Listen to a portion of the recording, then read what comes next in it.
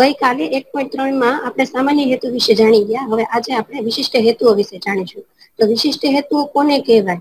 તો વિશિષ્ટ હેતુ એ વિષય શિક્ષણ કે તાસ શિક્ષણ ના હોય છે. એ ખૂબ ટૂંકા ગાળાના અને તાત્કાલિક સિદ્ધ થઈ જાય તેવા હોય છે. એટલે કે વિશિષ્ટ હેતુઓ છે એ શિક્ષણ પ્રક્રિયાની એક નીપજ કહી શકાય. પણ આ હેતુઓ સિદ્ધ કરવા એ ટૂંકા ગાળાના, એટલે કે નિશ્ચિત હોય છે. તમે વર્ગખંડમાં જાઓ, એ પેલા તમે નિશ્ચિત કરેલું હોય. કે આજે આપણે એટલા એટલા ટોપિક ભણાવશું અને આ આ વસ્તુ કે આ પરિવર્તન એ વિદ્યાર્થીમાં આપણને જોવા મળશે. એ ટૂંકા ગાળાનું થયું કે જેને તાત્કાલિક આપણે જોઈ શકીએ.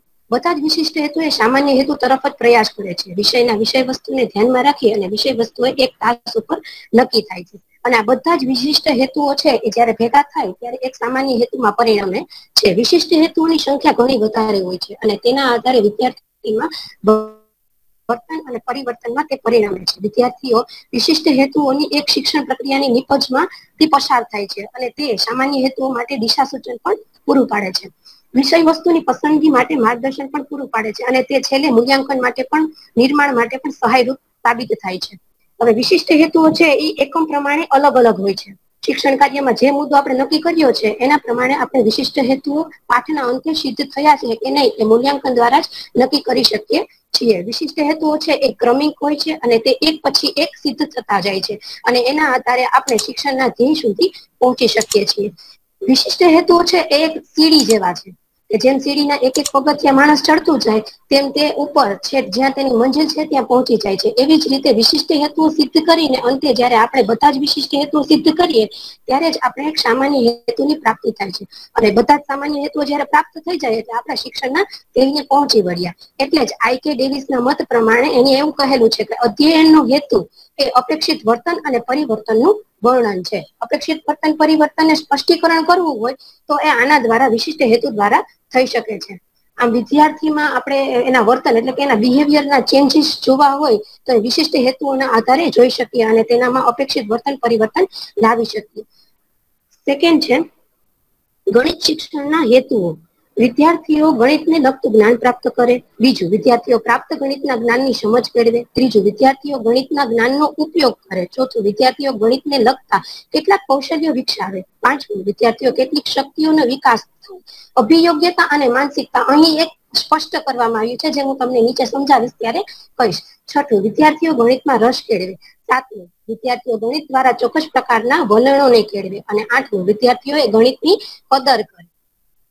આપણે ગણિત શિક્ષણના હેતુઓ જોઈએ, પણ ગણિત શિક્ષણના હેતુઓ છે એ બે પ્રકારના છે. એક તો ટૂંકા ગાળાના હેતુ અને બીજા છે એ લાંબા ગાળાના હેતુ. એટલે કે શોર્ટ ટર્મ ઓબ્જેક્ટિવ્સ અને લોંગ ટર્મ ઓબ્જેક્ટિવ્સ હવે ટૂંકા ગાળાના હેતુઓ છે, તેમાં કેનો કેનો સમાવેશ થશે? તો કે જ્ઞાન, સમજ, ઉપયોગ અને કૌશલ્ય, જેનાથી આપણે બધા પરિચિત છીએ, જે કાલે આપણને બેને સમજાવ્યું હતું. હવે આગળ છે લાંબા ગાળાના હેતુઓ. એમાં કોણ કોણ આવશે? તો કે રસ, વલણ અને કદર.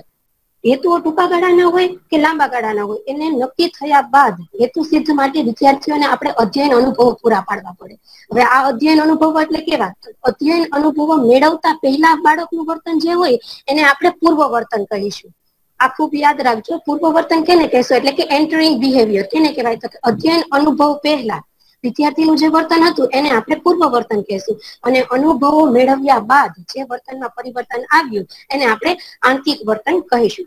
શૈક્ષણિક અનુભવ આપવાનો હેતુ વિદ્યાર્થીના પૂર્વ વર્તનમાં ફેરફાર લાવી અને અપેક્ષિત વર્તન પરિવર્તન પેદા કરવાનો હોય છે.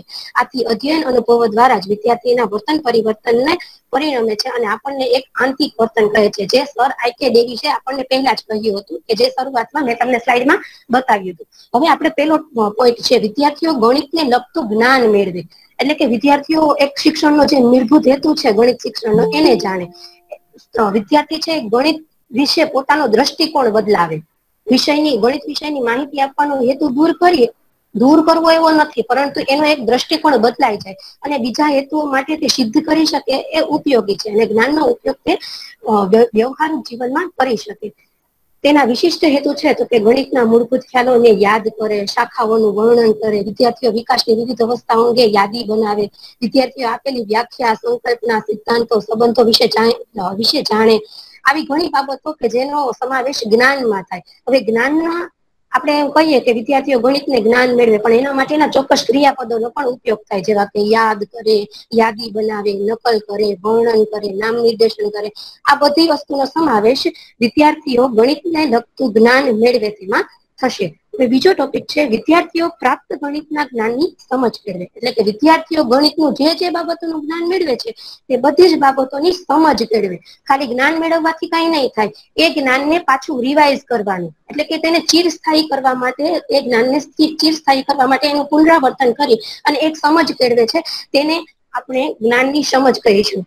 અને જ્ઞાનની સમજ માટેના અલગ અલગ ક્રિયાપદો છે, જેવા કે ઉદાહરણ આપે, એટલે કે વિદ્યાર્થીઓ જો સમજી ગયા હોય છે, તો જે ઉદાહરણ આપી શકશે, તો જ એનું રૂપાંતરણ કરી શકે, તો જ એનું વર્ગીકરણ કરી શકે. એટલે જ્યારે આપણે વિદ્યાર્થીઓ જ્ઞાનની સમજ આપે, એવા શબ્દનો ઉપયોગ કરીએ, ત્યારે એના માટેના આવા વિવિધ ક્રિયાપદોનો ઉપયોગ કરી શકાય. જેમ કે સામાન્યકરણ કરે, અર્થઘટન કરે, વિગત સમજાવે. જો હું તમને એક ઉદાહરણ આપું કે વિદ્યાર્થીઓ ગણિતના પારિભાષિક શબ્દોની ઉદાહરણ આપે. બીજું કે વિદ્યાર્થીઓએ આપેલ વિગતો અને સિદ્ધાંતો વચ્ચેનો સંબંધ પારખે આ એના વિશિષ્ટ રૂપરેખાઓ અથવા તો વિશિષ્ટ હેતુઓ થયા. ત્રીજું છે, વિદ્યાર્થીઓ ગણિતના જ્ઞાનનો ઉપયોગ કરે. હવે વિદ્યાર્થીએ જ્ઞાન એ મેળવી લીધું અને સમજ એ મેળવી લીધી, પરંતુ એનો ઉપયોગ કરતા તો આવડવો જોઈએ. એટલે કે વ્યવહારુ જીવનમાં એનો ઉપયોગ કરતા શીખે, જે એનો મેન હેતુ કહી શકાય. હવે વિદ્યાર્થીઓ જ્ઞાન અને સમજને આધારે વ્યાખ્યાઓ છે, પારિભાષિક શબ્દો છે, સૂત્રો છે, સિદ્ધાંતો વગેરેનો ઉપયોગ નવીન પરિસ્થિતિમાં કરતા થાય ત્યારે આપણે એનો, એની માટે ચોક્કસ ક્રિયાપદોનો ઉપયોગ કરશું. જેવા કે અજમાઈશ કરે, ઉકેલ મેળવે, ગણતરી કરે, અર્થઘટન કરે. આવા બધા શબ્દોનો ઉપયોગ ક્યારે થશે? જ્યારે વિદ્યાર્થીઓ જ્ઞાનનો ઉપયોગ કરશે ત્યારે. તો એના માટે આપણે આવા વાક્ય મૂકી શકીએ કે વિદ્યાર્થીઓ આત્મવિશ્વાસ પૂર્વક સમસ્યાનો ઉકેલ મેળવે. વિદ્યાર્થીઓ સમસ્યાના ઉકેલ માટે પરિણામ માટેના અનુમાનો બાંધતા શીખે. વિદ્યાર્થીઓ પૃથ્થકરણ દ્વારા મેળવેલી સાબિતીના મુદ્દાને યોગ્ય રીતે સંકલિત કરી અને રજૂ કરે. વિદ્યાર્થીઓ આપેલ નવીન પરિસ્થિતિમાં વિધાનોની મૂલવણી કરે. ચોથું છે, વિદ્યાર્થીઓ ગણિતને લગતા કેટલાક કૌશલ્ય વિકસાવે. એટલે કે ગણિતનું સાચું જ્ઞાન મેળવી લીધા પછી કેટલાક કૌશલ્ય પણ કેળવવા જરૂરી છે. જેવા કે ગણિતમાં આપણે ઉપયોગમાં લઈએ એવા કૌશલ્ય ક્યાં? તો કે આકૃતિ દોરતા શીખવી રચનાઓ કરતા શીખવી, ગણિત કરવાનું કૌશલ્ય કેળવવું, કોઠા દોરતા શીખવું, ગણિતના સાધનોનો ઉપયોગ કરતા શીખવવું. આ બધી વસ્તુનો ઉપયોગ કૌશલ્યમાં થશે. અને કૌશલ્ય માટેના ચોક્કસ ક્રિયાપદો ક્યાં હોય? તો કે ચોકસાઈથી આખે આલેખ દોરે, પછી ઝડપથી માપન કરે સાધનની યોગ્ય પસંદગી કરે, યોગ્ય સાધનોનો ઉપયોગ કરે, આવા શબ્દનો ઉપયોગ થશે. અને તેના વિશિષ્ટ હેતુ એટલે કે સ્પષ્ટીકરણ માટે કેવા શબ્દો ઉપયોગ થશે? તો કે આવી રીતે લખાશે કે વિદ્યાર્થીઓ આપેલી વિગતો પરથી યોગ્ય ભૌમિતિક આકૃતિઓને દોરશે. વિદ્યાર્થીઓ આપેલ પ્રમાણ માપ મુજબ આકૃતિ કે આલેખો દોરશે.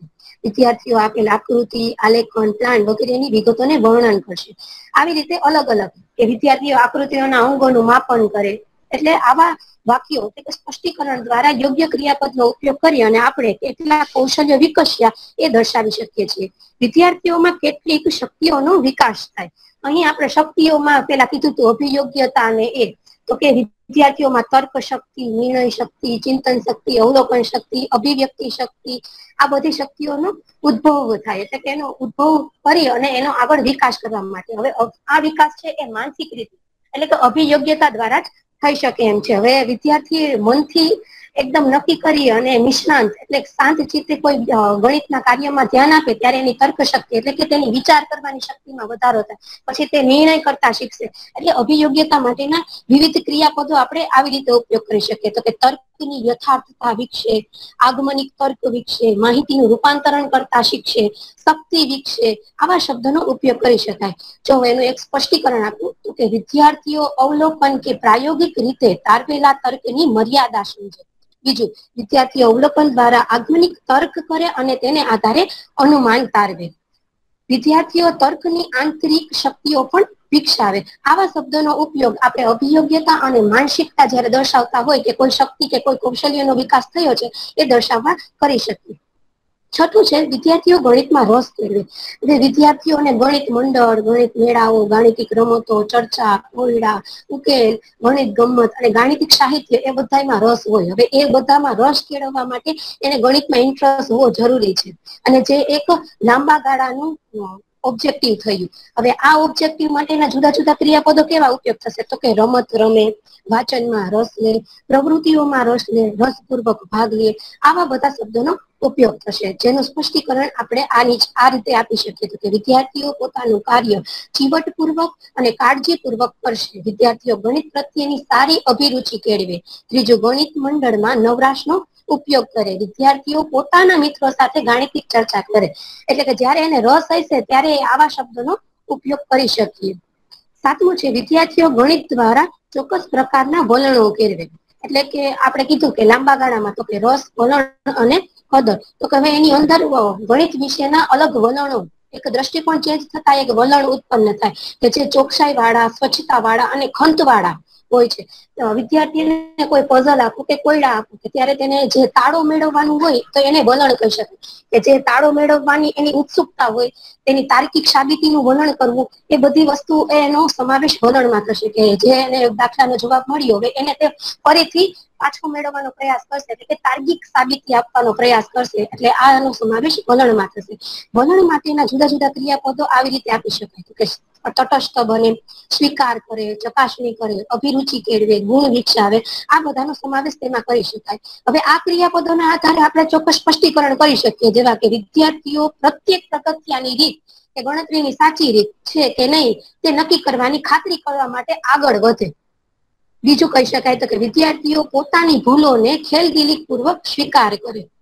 વિદ્યાર્થીઓ ગણિત મંડળની પ્રવૃત્તિમાં હકારાત્મક વલણ સાથે જોડાય અથવા તો હકારાત્મક વલણ કેળવે. આવા શબ્દનો ઉપયોગ વલણ માટે થશે. સાતમું છે, વિદ્યાર્થીઓ ગણિતની કદર કરતા શીખે. એટલે કે વિદ્યાર્થીઓ ગણિતની, ગણિતના ઇતિહાસ વિશે, ગણિતના અન્ય વિષયમાં ફાળાઓ વિશે, તેના વ્યવહારિક જીવનના ફાળા વિશે અને ગણિત મંડળની પ્રવૃત્તિઓ વિશે જાણવા માટે ઉત્સુક થાય. એટલે કે તેની કદર કરતો થાય. ગણિત વિષય માત્ર નહીં, પરંતુ ગણિતને પોતાના જીવન સાથે જોડી અને તેનું શું મહત્વ છે તે જાણે અને તેની કદર કરતા શીખી. આના માટે આપણે કદરના અમુક વિશિષ્ટ ક્રિયાપદો ઉપયોગ કરી શકે જેવા કે યોગ્ય કદર કરે, સરળતા જાણે, ભાડાની કદર કરે, અસર જાણે, રોજિંદા જીવનમાં ઉપયોગ કરે, ઇતિહાસ જાણે અને સંક્ષિપ્તીકરણ કરે. આવા શબ્દનો ઉપયોગ કરી શકાય. જેના વિશિષ્ટ સ્પષ્ટીકરણ આ મુજબ આપી શકાય કે વિદ્યાર્થીઓ ગણિત ઇતિહાસમાં ઇતિહાસ શાસ્ત્રીઓ, એટલે કે ગણિતના શાસ્ત્રીઓના ફાળા વિશેની કદર કરે. વિદ્યાર્થીઓ રોજબરોજના જીવનમાં ગણિતનો ફાળાનું મહત્વ સમજે અને તેની કદર કરે. વિદ્યાર્થીઓ ગણિત કેન્દ્ર સ્થાને છે, તેની પણ કદર કરે.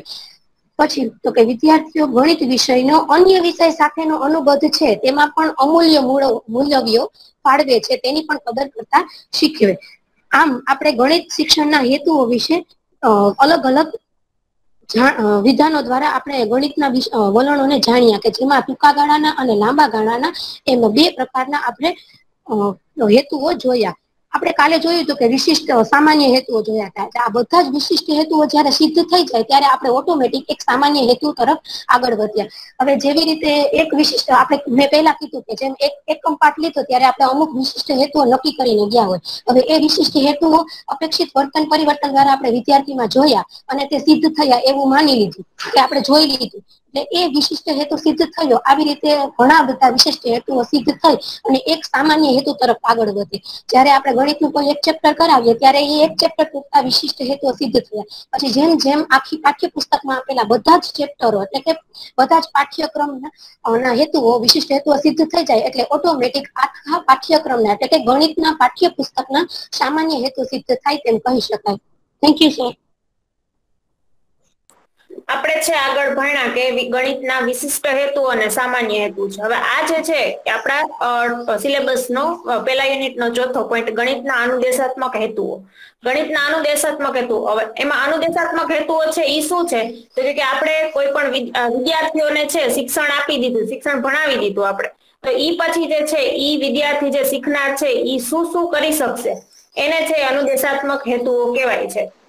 અનુદેશાત્મક હેતુઓમાં છે, તો કે વિદ્યાર્થી છે એ શિક્ષણ પ્રાપ્ત કર્યા બાદ ચોક્કસ માપન અથવા ટૂંકા ગાળાના અને અવલોકનક્ષમ છે, અવલોકન કરી શકે અલગ અલગ વસ્તુનું. ને એ બધા જે હેતુઓ જે ડેવલપ થાય વિદ્યાર્થીમાં, એને છે એ અનુદેશાત્મક હેતુઓ કહેવાય. હવે વિદ્યાર્થી છે એ તેઓ ઈચ્છિત જૂથ માટે કુશળતા અથવા પ્રાપ્ત કરવાના વલણને સૂચવે છે. અનુદેશાત્મક હેતુઓ શું છે? તો કે વિદ્યાર્થીમાં ઈ ઈચ્છિત કોઈ પણ વસ્તુ આપણે જે ભણાવેલી હોય, તો એ એમાં છે એમાં અલગ કુશળતા પ્રાપ્ત કરે. તો ઈ જે છે એ અનુદેશાત્મક હેતુમાં આવે છે. સપોઝ કે આપણે એક્ઝામ્પલ લઈએ કે કોઈ પણ વિદ્યાર્થી છે એ ગણિત વિશે જ્ઞાન મેળવે, પણ એ હકીકતમાં કેટલું શીખ્યો તે દાખલાની ગણતરી કરી શકશે અને તે કેવી રીતે કરશે? તો ઈ જે હેતુ જે છે એ અનુદેશાત્મક હેતુઓ આજે એનામાં જે સ્કિલ ડેવલપ થાય એને વિદ્યાર્થીમાં, તો ઈ ગણિત ના વિષયમાં જે સ્કિલ ડેવલપ થાય અને ગણિતના અનુદેશાત્મક હેતુઓ કહેવાય. હવે ગણિતના અનુદેશાત્મક હેતુઓ છે એના પ્રકાર છે ત્રણ. ઈ ત્રણ પ્રકાર તો પેલું રચનાત્મક, બીજું મનોવૈજ્ઞાનિક અને ત્રીજું એકાગ્રતા. પેલું જે છે રચનાત્મક. તો કોઈ પણ વિદ્યાર્થીને આપણે શિક્ષણ પ્રાપ્ત કર્યું એ શીખી ગયો તો એ ગણિતમાં એ શીખનાર છે એની વિશે કેટલું વિચારી શકે, કેટલું રચના રચનાત્મક રીતે વિચારી શકે છે. એ જે છે એને રચનાત્મક હેતુ થયો. પછી મનોવૈજ્ઞાનિક, તો કે શીખનારની માનસિકતા છે એ કેટલી ડેવલપ થાય છે. એ જોઈએ તો એ ગણિતનો ગણિતના અનુદેશાત્મક હેતુમાં મનોવૈજ્ઞાનિક પ્રકાર છે. ત્રીજું એકાગ્રતા, તો જે શીખનાર છે એ કેટલો એકાગ્ર છે. એ વસ્તુ એકાગ્રતા જે ડેવલપ થઈ, એને ગણિતનો અનુદેશાત્મક ત્રીજો પ્રકાર એકાગ્રતા કહેવાય. Thank you